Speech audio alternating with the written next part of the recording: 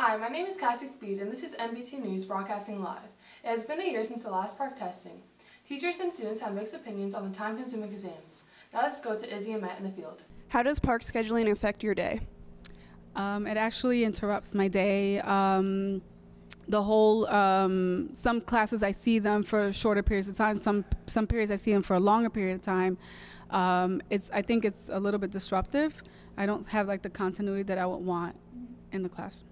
Do you think it's a necessity for students?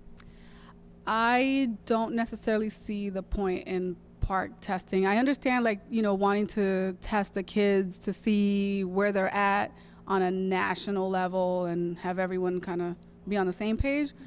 Um, but I just feel like we're teaching kids to, to pass a test and we're losing the fun part of education, which is actually learning the subject, you know, and applying whatever they learned, you know, as opposed to just uh, learning the information to just pass a test. I'd rather you just learn the material and then actually apply it in like real life scenario. How does PARCC schedule affect your day?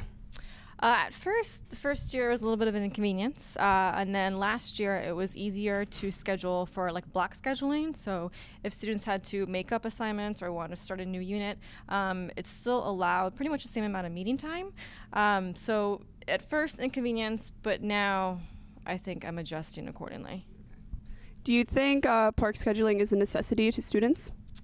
The scheduling, I think, is a necessity, uh, as well as the PARCC, considering how it's a, a state standard or a state requirement. Um, and I don't really know any other way to avoid the scheduling as it currently is. So I think because it's being thrown at us again, we just got to sort of be flexible and make it work out. Thank you. How does PARCC scheduling affect your day? The extended periods get pretty fun because you get to watch movies in some classes. But then there are the other classes where they actually make you do work for the whole two hours, and that kind of sucks. Mm-hmm. But overall, I feel like it's bad. Alright, and this is NBT News. Thanks for watching. Until next time.